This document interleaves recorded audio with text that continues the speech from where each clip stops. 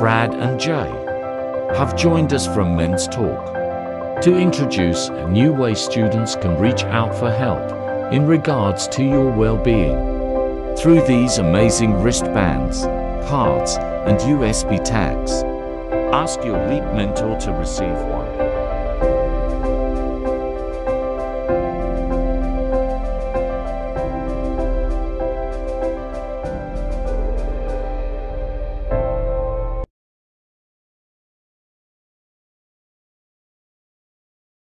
Um, and we spoke to a young guy in the canteen, um, and we were just trying to sort of make the plea that you know what, um, we all have issues, we all go through experiences in life that aren't pleasant, really like challenging and all that kind of stuff, and quite often we don't know what to do with them, we don't know where to turn to, what to look at, who to speak to.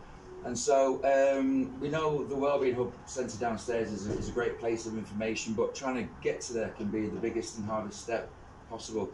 So we tried to come up with a way that would be like sort of fun and unique and innovative.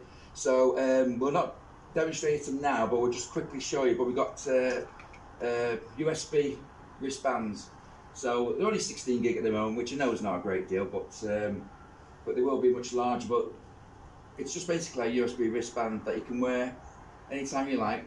Um, it's non-descriptive, so it's very discreet. No one would ever know what it's for or what you what it's all about.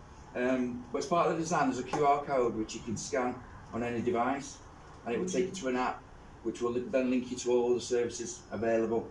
Uh, that's charitable services. So if you needed to, um, uh, if you wanted to, to call an emergency service like a crisis number, uh, you can press an icon and it'll dial it for you automatically. It'll send an SMS for you automatically. Um, there's lots of uh, short videos uh, which are on YouTube, which helps you sort of um, explain what conditions are, um, so you can sort of uh, educate yourself with knowledge and think, actually, yeah, I, I have got that, or that's what I'm suffering with at the moment, and what can I do about it? Uh, which services should I choose? And you can do all that kind of stuff through this little app that we produced, which is accessed through the um, QR code. So as well as the wristband, we've also got a um, we've got a for the old schoolers out there. If you've got wallets or purses, um, we've also got like a like a little smart card as well, uh, which has got a, a barcode in the centre. Uh, and again, if you want to store all your stuff, like you, you can even just use it for just storing your your work for college. You've got like a, just a USB. It'll, it'll end up being about 64 gig, I think, when we go with it fully. Uh, and then the other little thing, which you can have on the end of a lanyard, um, is just a little. Call it a quad, but I always think of it as a cube. But it's just a little sort of like keyring. And all it is, it's just got a barcode on it that you can scan. So you know, if, if somebody ever saw this in your bag, they're not going to go, oh, I can see, you know, you've got mental health issues because you've got, you know, it says nothing on it at all. Um, and if anyone was to ask you, like, what you're using it for, you just twist the top and it's just a memory stick. So you can just say, well, it's just a memory stick. When actually, what you're doing is, as well as using the memory stick, you're scanning that code and then accessing all the services that you need to very discreetly. Um, uh, the app isn't stored on your phone, you don't have to install it, it just streams. So you just scan it and you're on it and you can look for stuff, you can check out some videos, um, and it helps you to help yourself. So you don't have to go and uh, find that person to talk to. You don't have to sort of spend hours searching the net. You don't have to worry about having a crisis card in your bag and somebody finding it. You can access all that information uh, just through um, a little barcode.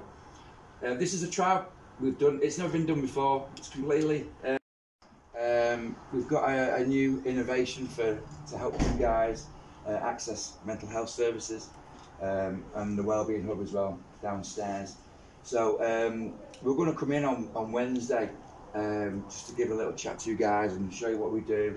Uh, it's all free stuff as well, so um, we thought we'd come back in on Wednesday. Yeah, uh, obviously, as you can clearly tell, there's a big age, uh, age difference. I'm not his dad, between by the way. No, he's, he's not my dad. Uh, but we, fi- we figured that knowing with mental health that we all struggle eventually. No, no matter if it's you've already gone through your struggle or you're still going through it or you're still waiting to get there. Uh, we decided that enough's enough. Before uh, you get a problem, we're here to try and prevent it. So on Wednesday, Uh, we'll be coming back in. I'll, I'll be delivering a speech. This isn't my speech, don't worry. I've got social anxiety myself, so this is probably not the best speech I'll ever do in my life. Join the club. But but what we're doing is we're creating this innovation that's going to change the world, hopefully, even if it's just with one person. Because if we help you, that's my dream come true. So that's the aim of us, guys.